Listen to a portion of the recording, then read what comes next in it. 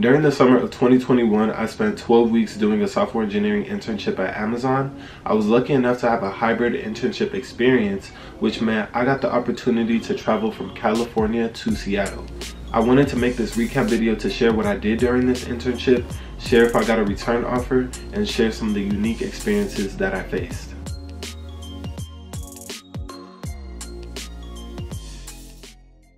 Welcome or welcome back to my channel everybody. Thank you for joining me. My name is Kazeem and I post college programming and lifestyle related content on this channel. So I applied to the Amazon Propel internship. This was the very first time that Amazon was doing this Propel internship and this cohort experience. The first four weeks was dedicated toward boot camp and learning about different stuff that can be applied to Amazon. The next eight weeks was working with your team, your manager, your mentor, having a personal project, all sorts of stuff. I'm going to talk about everything. So I worked on the Amazon profitability management team and my team was in charge of the system interactions between Amazon and vendors on Amazon. So within that sort of broad APM team, I had an existing sub team about 20 existing software engineers and it was a really amazing experience to sort of see what it's like to work outside of college and outside of school and just really work within the industry. So I do want to get into talking about my different weeks at Amazon and sort of breaking it up from the cohort experience to working on my team. A quick disclaimer is that I obviously was under NDA at Amazon, so I can't show you or talk about anything super specific to my team, but I will just generally say what is it that I worked on and some of the experiences that I faced as an Amazon intern. So let's get into it, y'all. So the first four weeks of my Amazon internship was dedicated to a boot camp this included learning about different software engineering problems, um, practicing Java, going to different labs, doing different assignments, different stuff like that, and just sort of getting set up with Amazon culture and Amazon technologies. So going back to the very, very first week at Amazon, my very first day even um, on the internship, I put so much pressure on myself, you guys. I cannot even explain to you how much pressure that I put on myself. I came in with the mindset like, okay, I really want to get a return offer. I really want to do well during this internship. And I just set such high expectations for myself. And in doing so, I did not really enjoy like the first day, first few days, first week of my internship because I was just putting too much pressure on myself. And I remember the very first day was just sort of setting up like my laptop, setting up different um, Amazon technologies that I'll be using throughout the internship and I was struggling with that. So I'm like, I haven't even gotten into the juicy stuff.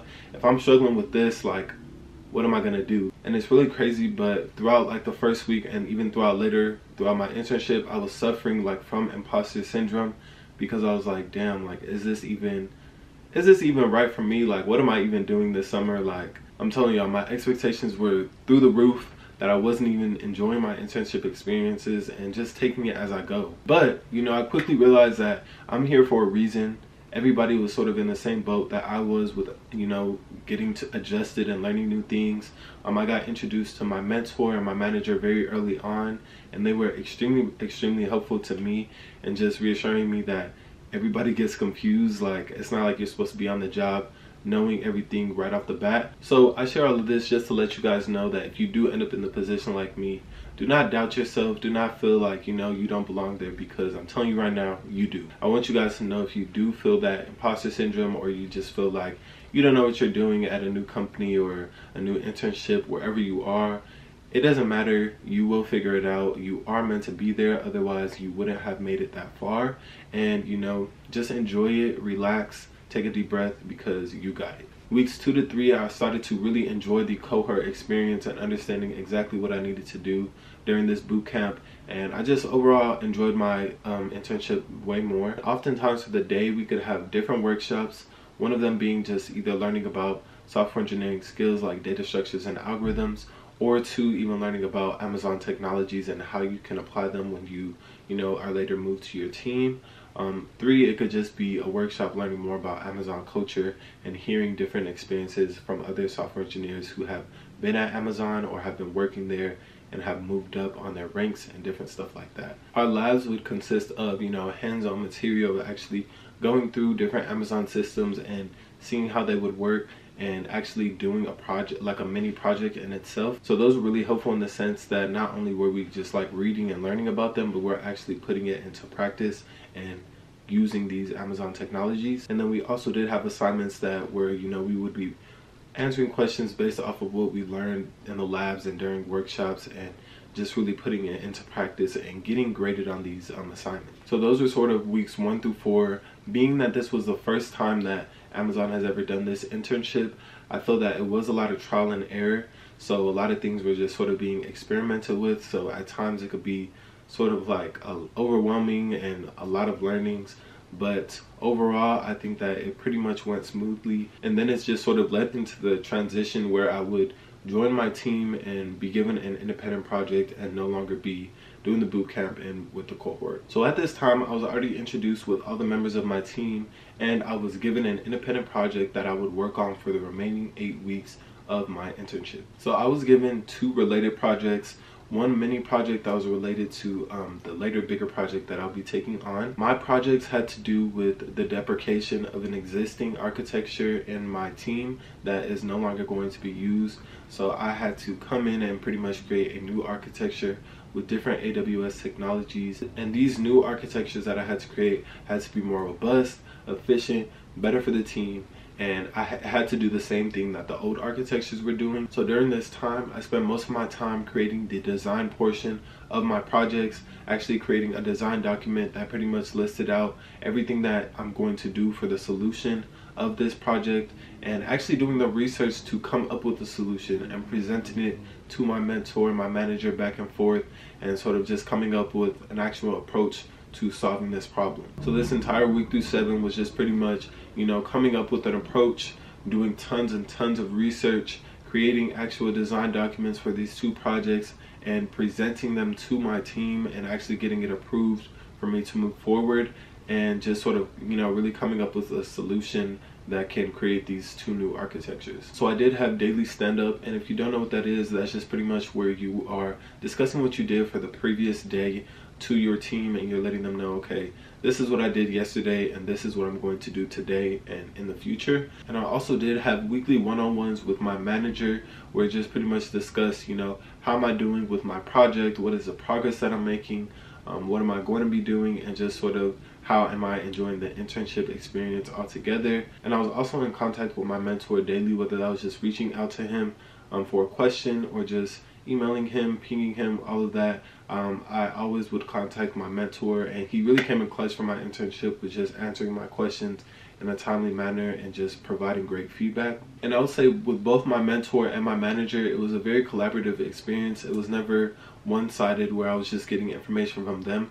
I was also providing information to them about, you know, where I was in the internship, how I was feeling, um, different um, concerns or just different things that I needed to address, I could let them know and they would also provide feedback. So I really appreciated that and that was a great experience as well. So during this time, I was in Seattle, but I ended up moving back to California just because I wanted to be with family. My mom was actually sick during this time and even before the internship, so I wanted to go back and just be with my family and be with her and just sort of um, see how everything was going. Um, being that the internship was hybrid, it allowed that transition to be very flexible because I could continue doing it in California. During this time, I was smack in the middle of my projects and working on both of them. Um, I had come across a lot of issues, whether it was just beta testing for the project, um, making sure that you know things were going smoothly, or you know I was having trouble with one of the AWS systems that I was using.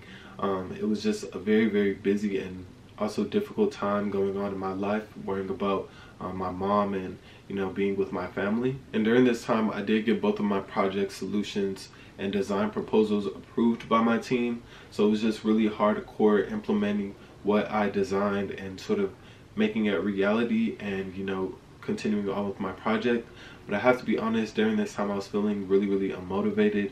I had so much going on in my life as far as just worrying about my mom and just being with my family. So I was just sort of feeling uneasy on just how things would go. And actually around week 10 of my internship, I actually lost my mom and that's something that is actually really difficult for me to even address and it's crazy that I'm addressing it with you guys but um, that is a big portion of what happened during my internship that you know kind of contributed to me not wanting to do anything and me just sort of wanting to give up during my internship but um, it was just really sort of rough and I definitely uh, I definitely notified my mentor and my manager when it happened and they were extremely accommodating. They were they told me, you know, like definitely don't worry about work right now, and they gave me a week off to just sort of, um, you know, be with my family and just not have to worry about work. We ended up talking more and discussing, and they added a week to my internship um, so that it would sort of be like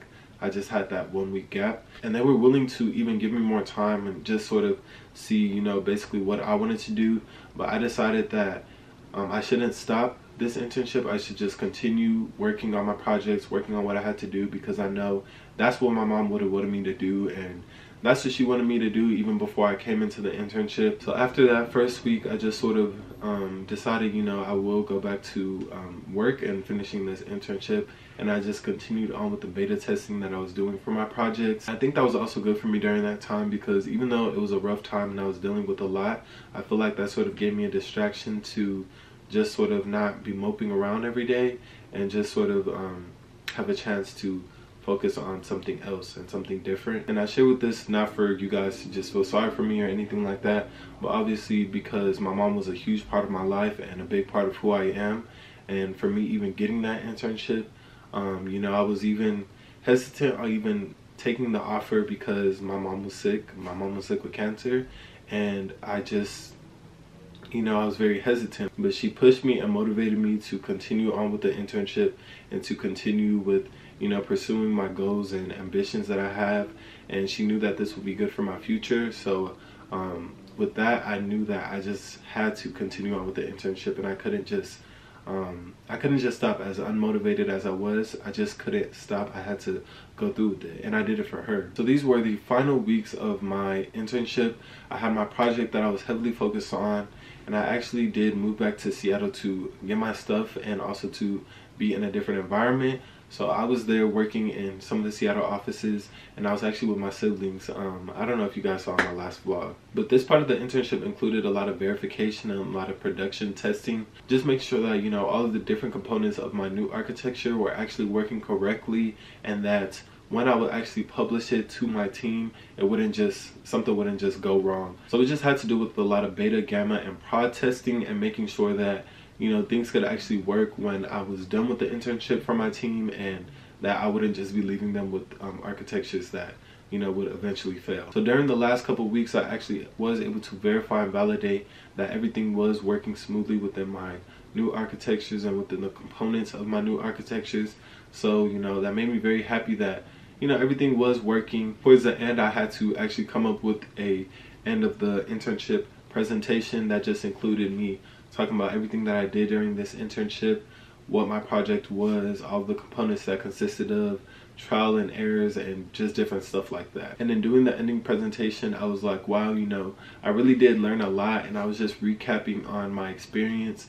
Like, I came in not knowing a bunch of different things, and um, being able to take out a bunch of that, um, learning different languages, and applying what I know, and doing different research. So it really truly was an amazing, amazing experience for me and just a unique opportunity. And on the very last day of my internship, I had a meeting with my manager that just sort of discussed, you know, my progress throughout the internship, um, you know, if I was going to get a return offer or not, and um, just sort of how I did and giving critical feedback um, as well as receiving it. And after getting and providing feedback from my manager, I ended up with a full-time offer to come back to Amazon as a software developer. So I was extremely, extremely excited and grateful to receive that and um, I still am. and with the ending of that meeting with my manager that pretty much concluded all of my internship and all 12 weeks of my internship. And that was pretty much it. Hopefully you guys were able to get some insight as to what I did during these 12 weeks at Amazon. And if you guys have any questions for me, go ahead and drop a question down in the comment section as well as give this video a like and of course subscribe to the channel if you're here if you made it this far. Subscribe to the channel and join me on my journey. And yeah thank you guys so much for watching. Thank you so much for listening. And i'll see you guys in my next video. Peace out